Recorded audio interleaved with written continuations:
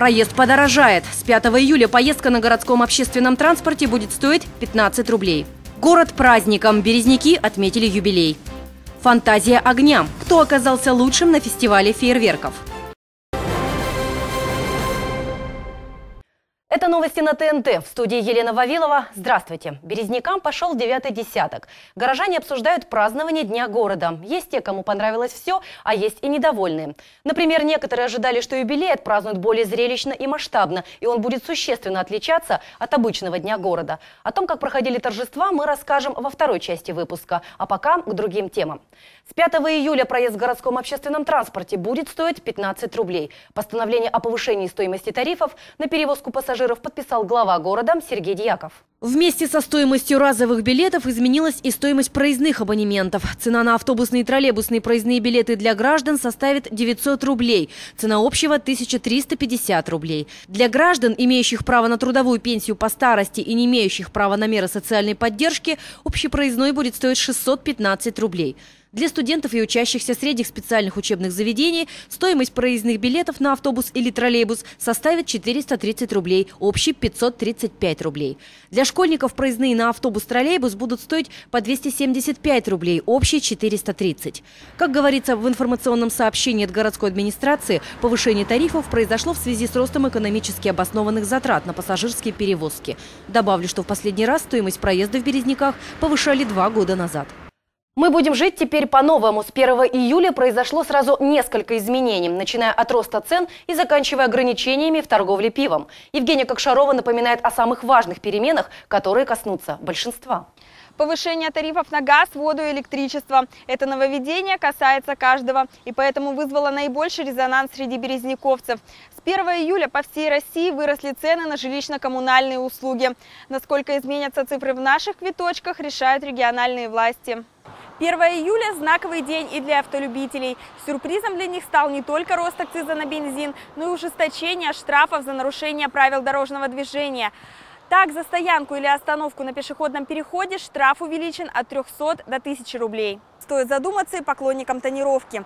По ГОСТу светопропускающая способность лобового стекла и передних боковых стекол должна составлять не менее 70%. За нарушение штраф остался прежним – 500 рублей. Однако теперь нерадивому водителю придется расстаться со своими госномерами до устранения нарушения. С 1 июля торговля крепкими сортами пива разрешена только в стационарных магазинах. В ларьках горячительные напитки крепостью свыше 5% продавать нельзя. А вблизи детских образовательных и спортивных учреждений торговля пива и вовсе запрещена. Но правилам подчиняются не все. Этот киоск находится в непосредственной близости от детско-юношеской спортивной школы «Темп». Однако пиво здесь находится в свободной продаже. Палку охоту.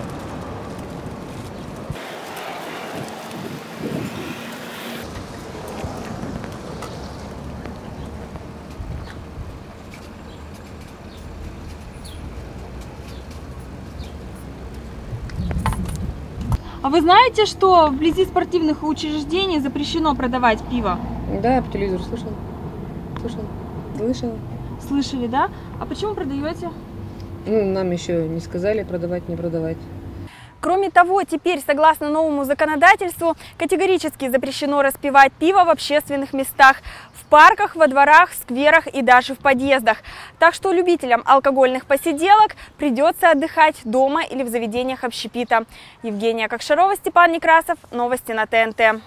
А теперь подробнее о том, как прошло празднование Дня города. Главной площадкой торжеств по традиции стала Советская площадь. Затем, как проходила первая половина праздничного дня, наблюдала Любовь Бухаринова. Современные ритмы и вперемешку с ними соло на деревянных ложках. «Парни с обложки» – так называется этот дуэт. Артисты приехали на 80-летие Березняков из Екатеринбурга. Потому что мы видели, когда выступали, как нам аплодировали. Видели.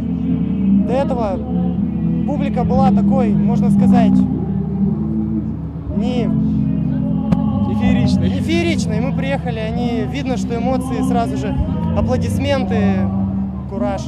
А это театрализованное шествие. В нем приняли участие все культурные учреждения нашего города. Музыкальная школа, училище, театры, а также одетые в карнавальные костюмы жители Березняков. Здесь можно было увидеть костюмы средневековых дам и кавалеров, зайчиков и героев любимых мультфильмов. Возглавляли колонну барабанщицы из Екатеринбурга. Самое главное – это создать, наверное, очень хорошую атмосферу, атмосферу праздника, потому что у Березняков сегодня юбилей, 80 лет, а День города – это ведь э, праздник каждого горожанина. Когда красочная колонна вступила на Советскую площадь, глава Березняков официально объявил юбилейный день города открытым. Сегодня поздравляю вас от всей души с праздником. Желаю вам здоровья, счастья, семейного благополучия и взаимопонимания. Затем на сцене началось награждение дипломами лучших учеников городских школ и победителей предметных олимпиад. Также награды получили победители городского исторического конкурса к 80-летию Березняков. После этого началось шоу мыльных пузырей. На главной сцене праздника сменяли друг друга разные коллективы. И несмотря на жаркую погоду, березняковцы не спешили покинуть открытую солнцу Советскую площадь, стараясь увидеть как можно больше выступлений.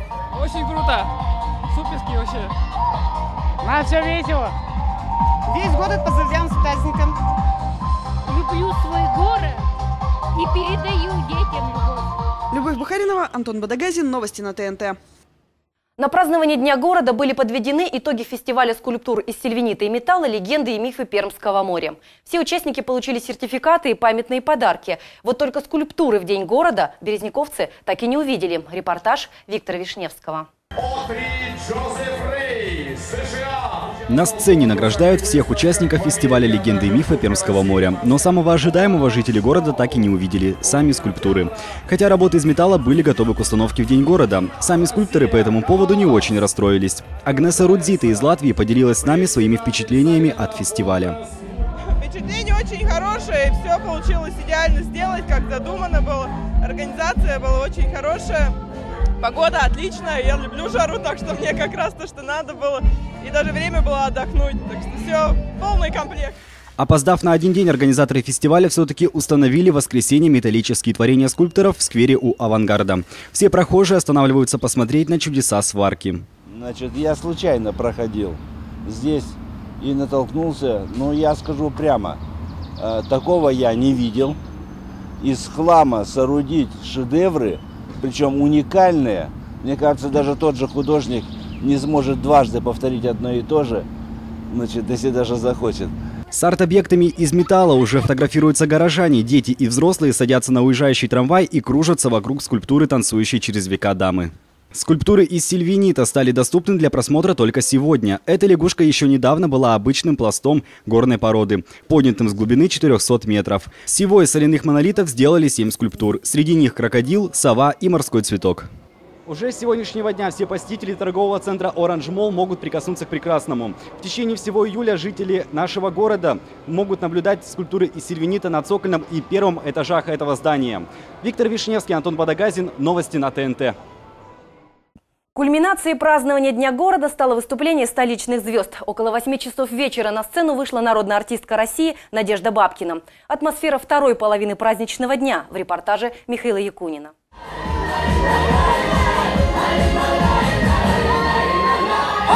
Целый час Надежда Бабкина радовала березняковцев народными песнями. Подпевал ей и стар, и млад.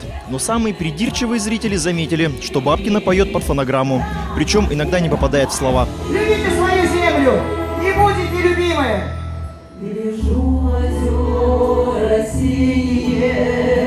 Впрочем, публика принимала народную артистку на ура.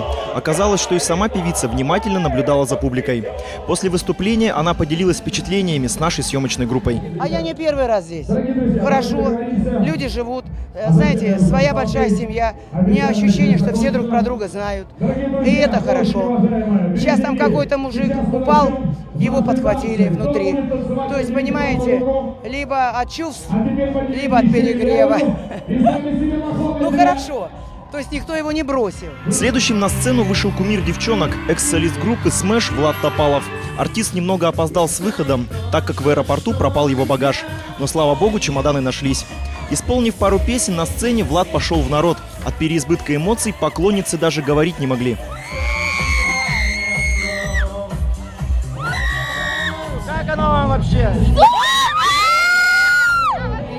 Все понравилось. Класс, взрослая. А моему внуку Влад Топалов руку пожал. После выступления Влад поздравил всех горожан с праздником. В этот праздник хочется пожелать самое главное а, чистоты в городе, город процветания, чтобы все, все продукты были дешевыми, жилье было дешевое, настроение было хорошее, денег было много, здоровья и всего самого хорошего.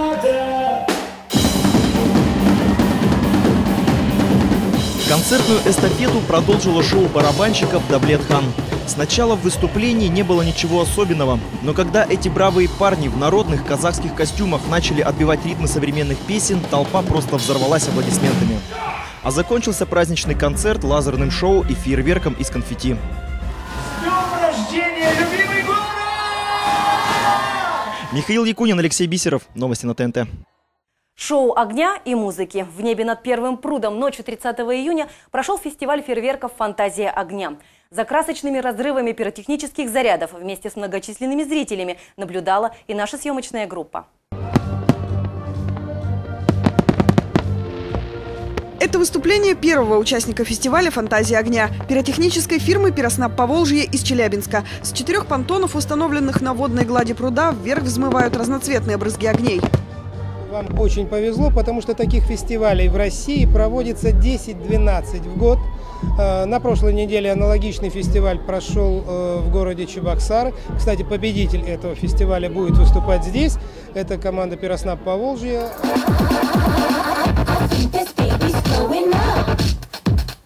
Между выступлениями пиротехников на сцене выступали танцоры коллектива «Джем» и местные исполнители песен, чтобы ожидание следующего выступления не казалось долгим и затянутым. Ведь чтобы подготовиться к следующему залпу, пиротехникам требовалось по 20 минут.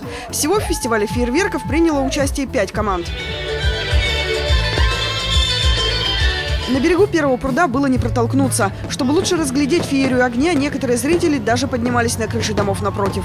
Настроение хорошее, программа великолепная, все очень нравится. Супер, вообще давно такого в городе не было, классно все, молодцы. Здорово, очень молодцы. Ждем еще новых участников. Судьи фестиваля обращали внимание на то, как реагируют зрители на выступление, насколько оно зрелищно и технично. Лауреатами конкурса в номинации «Яркий образ» стала компания «Фейерверк» из города Челябинск. В принципе, подобрали, я считаю, неплохую музыку, сделали все, чтобы понравиться Абсолютным победителем по зрелищности, красоте и техничности выступления стала еще одна челябинская компания – «Пироснаб Поволжье». Не мудрено, эти ребята были первыми на Всероссийском фестивале фейерверков. На пять минут шоу эти специалисты потратили почти миллион рублей. Грамотно подобрали различные заряды и буквально по нотам запускали их в небо. То есть здесь собираются сильнейшие, посмотреть, как работают другие, а, посмотреть свои работы в сравнении. Наверное, это вот, вот это вот основная цель. В следующем году фестиваль «Фантазии огня» отметит свой первый небольшой юбилей – пятилетие. Любовь Бухаринова, Антон Бадагазин, новости на ТНТ. В минувшие выходные горожане могли увидеть, как делается реалити-шоу «За гранью возрождения». 30 июня в День города в Парке культуры и отдыха проходили съемки очередного выпуска этого проекта. На этот раз участники реалити-шоу соревновались в стрельбе из лука, бросании топоров, копья и сражались на мечах. Кто оказался лучшим, смотрите сразу после нашей программы. Добавлю, что для зрителей в парке были организованы специальные конкурсы. Победители получили призы от телеканала ТНТ «Березники». Мы делаем новости вместе с вами. Если вы хотите пожаловаться на проблему, если вы сняли на видео интересное событие или происшествие, если вы знаете то, что будет интересно другим, поделитесь этой информацией с нами. Автор лучшей новости недели получит вознаграждение – 3000 рублей. Мы ждем ваших звонков по телефону 20 16 20. Вы смотрели главные новости города. Далее вас ждет прогноз погоды и очередной выпуск реалити-шоу «За гранью». А я прощаюсь. С вами была Елена Вавилова. Всего вам доброго. До встречи.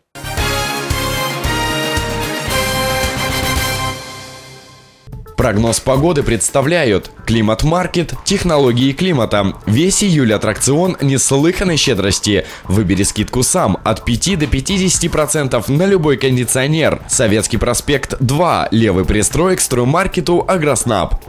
Здравствуйте! 3 июля в Березняках ожидается облачно, возможно гроза. Температура воздуха плюс 23, плюс 25 градусов.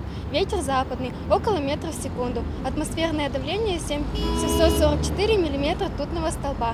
Белева Анна специально для программы новости на ТНТ. Света, привет! Аня, Юля, тоже привет. Смотрите новости. В июле скидка на кондиционеры до 50%. Скидку выбираете сами в любом климат-маркете. Все очевидно. Технологии климата. Левый пристрой строймаркета «Агроснаб». Советский проспект 2. Телефон 29 25 99.